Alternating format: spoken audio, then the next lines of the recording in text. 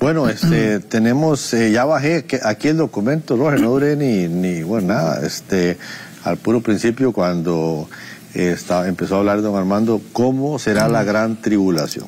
Documento elaborado por el doctor Alducin, sí, aquí está todos los pasajes y todo eso, puede usted, este, vamos a empezar a hablar de este, de este tema, así que usted puede descargar ahí las notas y tenerlas en su teléfono, enviárselo a, a personas que usted sabe que le interesa mucho el tema Empecemos. Así es, Pastor y Entonces, ahí en la introducción que usted hace en el documento, que como bien lo menciona Jonás, totalmente gratuito en el WhatsApp de enlace, más 1 469 781 Ahí en los contactos usted lo tiene y puede descargar el documento. De introducción, Pastor Alducin, usted hace como una recapitulación acerca de la diferencia en que este tema de la gran tribulación y el rapto de la iglesia, cómo no se pueden mezclar, qué diferencia hay entre estos dos acontecimientos para poder ponernos en perspectiva acerca de los eh, acontecimientos futuros, eh, Pastor Alducin.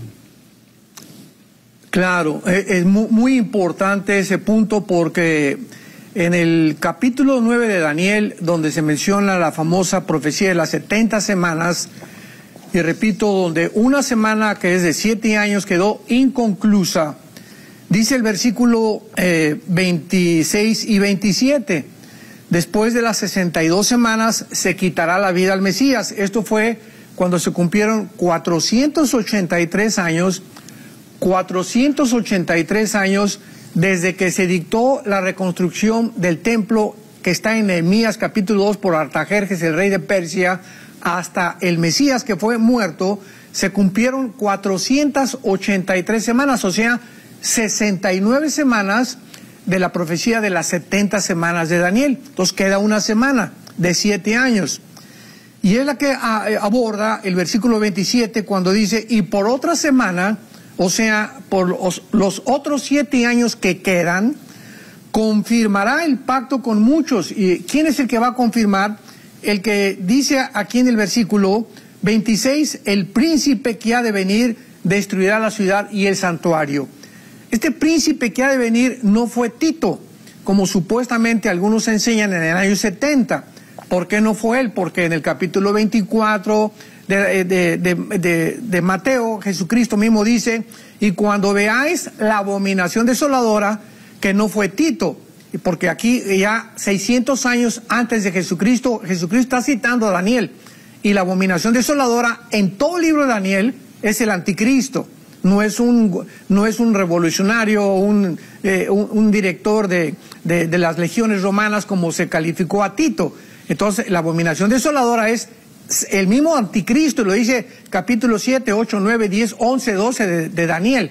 Entonces tenemos que poder compaginar y poner precepto sobre precepto y armar bien esto para saber quién es la abominación desoladora. Es el anticristo. Y también lo dice el libro de Apocalipsis.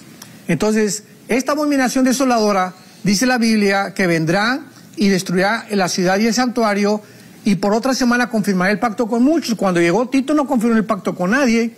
Él entró y destruyó Jerusalén. Y aquí está hablando que este príncipe que había de venir, que se menciona como la abominación desoladora, iba a firmar un pacto, a confirmar por siete años con Israel. Y a la mitad de la semana, él hará cesar los sacrificios. Nunca hizo esto eh, Tito.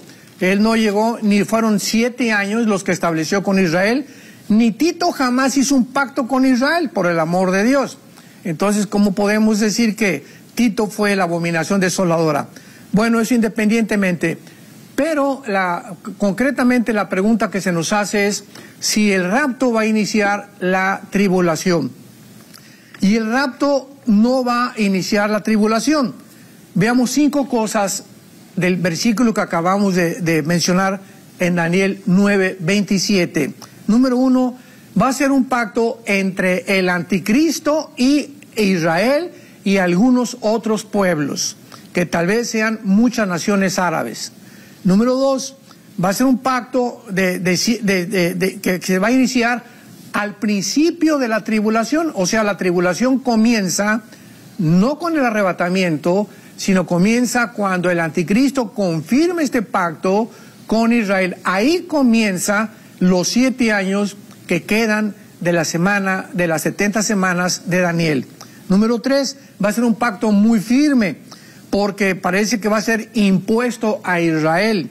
Será algo así como lo tomas o lo dejas. O sea, el anticristo le va a decir a Israel, este pacto que voy a confirmar les va a garantizar que yo los proteja durante siete años. Por lo que deducimos que Israel en ese tiempo se va a encontrar amenazado, tal vez por alguna otra nación, o se va a encontrar atemorizado que lo vuelvan otra vez a invadir, y el anticristo con los poderes sobrenaturales que tendrá, les va a garantizar esto a Israel y ellos entrarán a un pacto de muerte, como se le llama más adelante, lo vamos a ver en el libro de Isaías capítulo 28. Y en cuarto lugar, se les dará a los judíos el derecho de rehacer sus sacrificios, de volver a hacer sus sacrificios de acuerdo a Apocalipsis 11, versículo 1 eh, y 2, y a la segunda carta a los tesalonicenses capítulo 2, versículos 3 y 4. Entonces, este, estos, estos siete años van a ser detenidos a los tres años y medio cuando el anticristo entre al templo y entonces Cristo les dijo en Mateo 24 a los judíos que cuando vieran a la abominación desoladora que menciona después Apocalipsis 3 y Apocalipsis 14, principalmente el capítulo 13 donde habla del anticristo y el falso profeta, esta abominación será una imagen que pondrá el falso profeta dentro del templo, que va a cobrar vida tal vez por algún demonio, como lo dice Apocalipsis capítulo 13, y va a ser lo que se le conoce como la abominación desoladora. Va a ser una imagen demoníaca con la imagen del anticristo, obligando a los seres en el mundo entero, tal vez por medio de hologramas, que adoren al anticristo. Entonces, la gran tribulación comienza con el pacto, no comienza con el rapto. El rapto puede suceder un año antes, cinco años antes, seis meses antes, no lo sabemos. Pero no necesariamente la tribulación comienza con el rapto, el rapto puede suceder meses o años antes con mucha anticipación. Ok, entonces desde esa perspectiva, doctor Alducin, la iglesia ni sombras, digamos, que va a vivir esta etapa tan crucial, porque siempre hay como mucha este, interrogante al respecto y la gente empieza a, cuestionar si la iglesia se va previo, si va a estar en medio, si va a pasar la gran tribulación, con el papel de la iglesia. Entonces, con base en esto, el rapto, eh, la iglesia ya desaparece, de, termina, eh, por decir así, el periodo de la iglesia que sigue después previo al rapto, eh, previo a la tribulación, perdón. Exactamente.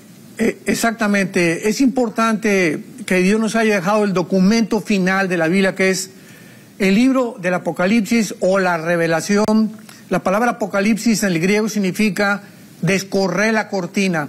O sea, Dios nos corre la cortina finalmente, cosa que ninguna generación antes lo hizo, ni siquiera los apóstoles, y podemos asomarnos claramente al plan de Dios final para la historia humana.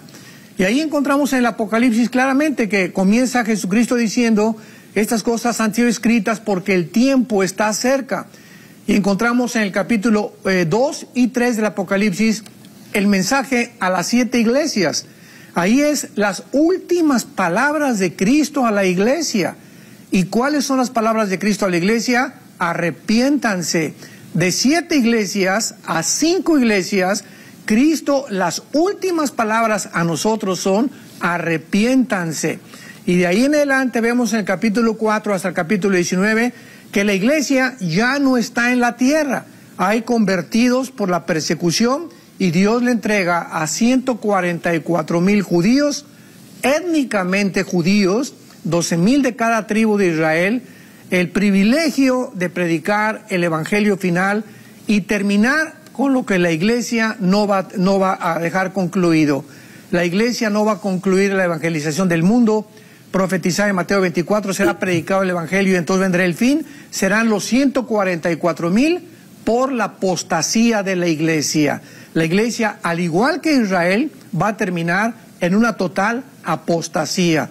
Entonces viene otra vez Dios, regresa para terminar con Israel por esa semana que le falta para concluir, que quedó conclusa con los 33 años de Cristo que estuvo bajo la dispensación de la gracia. Y ya entonces vemos en todo el Apocalipsis más de 240 versículos que se citan en el Antiguo Testamento. todo el, nuevo, el, este, el Apocalipsis es un libro del Antiguo Testamento.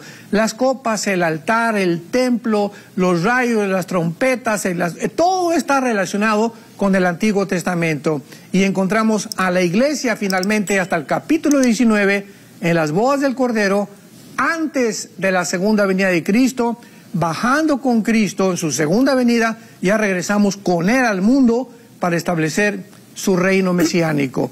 Esta cronología es muy importante para que podamos nosotros no desviarnos y entender claramente la palabra de verdad. ¿Sabías que si te suscribes a nuestro canal de YouTube estarás enterado de primero de los mensajes más recientes y poderosos que van a bendecir tu vida? Así que dale click al botón de suscribir y activa la campanita de notificaciones para que estés pendiente de nuestro contenido.